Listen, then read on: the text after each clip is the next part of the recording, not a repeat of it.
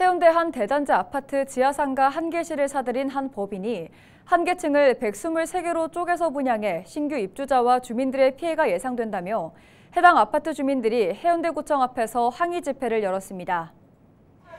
이 아파트 주민들은 재건축 사업이 추진되고 있는 시점에서 상가가 120여 개가 추가돼 사업 추진이 어려워지고 조합원 분담금도 늘어날 수 있다고 주장했습니다. 현재 123개로 분할된 상가는 이미 26개실이 팔린 것으로 확인됐습니다. 해운대구의회는 해운대구가 현장 확인 없이 상가 분할 허가를 내줬다며 허가 과정에서 문제가 없었는지 행정사무조사 특별위원회를 구성해 조사에 들어갔습니다. 조합을 설립을 할 때 가장 중요한 부분이 동의 요건이 있습니다.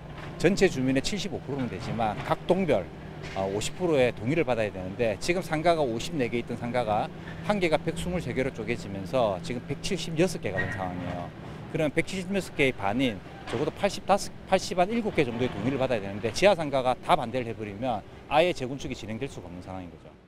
현대구청은 서류만 가지고 어, 저 상가 지분 쪼개기를 해줬기 때문에 집합건물법에서 요구하는 법령을 위반하고 행정 절차를 어겨가면서 해운대구는 상가 분할 허가 부분에 법적인 문제는 없다는 입장입니다.